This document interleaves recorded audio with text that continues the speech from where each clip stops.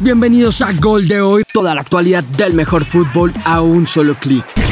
Mañana juega el Liverpool y en rueda de prensa previa al encuentro, Jürgen Klopp dio buenas noticias en el caso de Luis Díaz. Joe Gómez podría entrenar al comienzo de la semana y a Luis Díaz lo espero durante la próxima semana. Después del receso internacional, para ambos es posible volver a jugar. Así las cosas, el regreso del colombiano se espera para el primero de abril, cuando enfrentarán al Manchester City.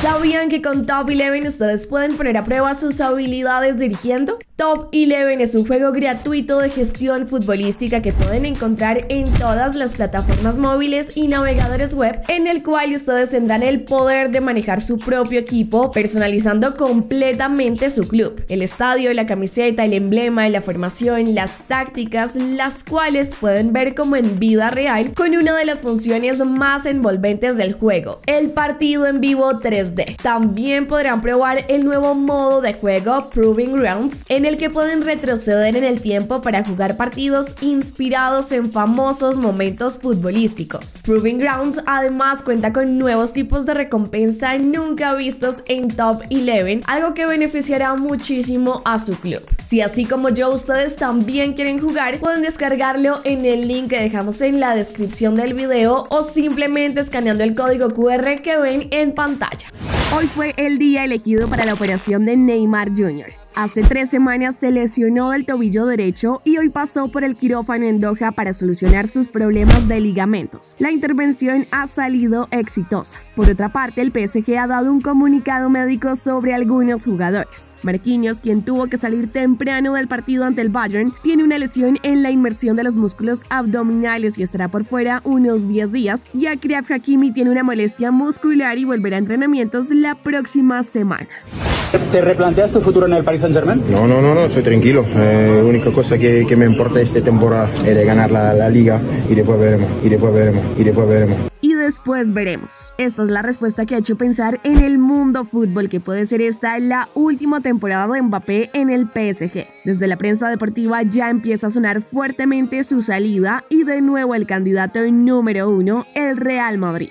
Esto parece ser una historia de nunca acabar, pero esta vez el Madrid no piensa botar la casa por la ventana. Lo quiere, sí, pero no quiere dar un solo peso por el francés. Kylian tiene contrato hasta el 2024 con opción a extenderlo hasta el 2025 si él lo desea, pero si esto no llega a ser efectivo, saldría gratis el otro año, por lo que este verano es la oportunidad para el PSG de sacarle dinero a su salida. Así las cosas, el Madrid está dispuesto a esperar hasta el otro año para tenerlo totalmente gratis. En medio de todo el revuelo del tema, le preguntaron a Ancelotti sobre una llegada de Mbappé, pero no quiso comprometerse. Me puede hacer esa pregunta ahora, mañana, dentro de dos o tres semanas, pero es una pregunta que no voy a responder nunca.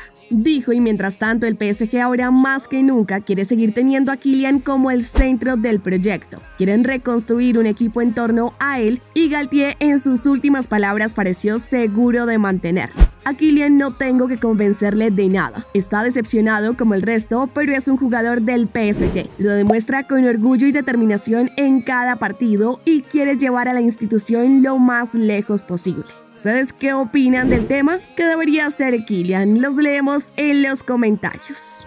Harry Maguire en la mira del PSG. Según informa el diario The Sun, el central inglés del Manchester United estuvo muy cerca de llegar al conjunto parisino en el pasado invierno, pues ya tenían un acuerdo, pero el tiempo impidió que se pudiera cerrar el fichaje. Aún así, el pacto no se rompe y afirman que el PSG volverá a la carga en el verano, teniendo en cuenta la lesión de Kimpembe y una posible salida de Ramos. La operación llegaría a los 56 millones de euros. En el Real Madrid están por culminar varios contratos a solo tres meses de culminar la temporada y uno de ellos es el de Karim Benzema. El francés de 35 años de edad termina su contrato en junio y está en vilo su renovación, pues el jugador habría pedido una subida salarial importante para renovar por una temporada más, pero el Madrid no tiene en mente aumentar su salario. Ante esta situación, el conjunto merengue ya piensa en un posible sustituto y de nuevo se enfrentan a dos opciones conocidas, Mbappé o Erling Haaland. Robert Lewandowski, a sus 34 años de edad, cree que aún falta tiempo para demostrar un buen nivel. Esto dijo en entrevista. Todavía creo que puedo jugar algunos años más a un alto nivel, pero no sé cuántos. Estoy seguro de que no serán solo uno o dos, habrá más. Ojalá pueda estar aquí en el Barcelona muchos años más, añadió el polaco. Así le coreaban a Cristiano Ronaldo el nombre de Lionel Messi en el partido ante la Litijat, donde fueron visitantes. Así reaccionó Cristiano, pero luego de perder el partido 1 por 0 y con esta derrota perder el liderato de la Saudi Pro League, esta fue su otra reacción al término del partido. Molestia total y protagoniza así una nueva exaltación. Luego del gol con que le dio la ventaja a la Juventus en los octavos de final de la Europa League, Ángel Di María habló sobre su renovación, pues su contrato termina en junio y dijo. Lo estamos hablando con la Juventus. Estoy feliz acá, siento el cariño de la gente y me lo están demostrando. Ellos están felices y yo estoy feliz. Esto es lo importante.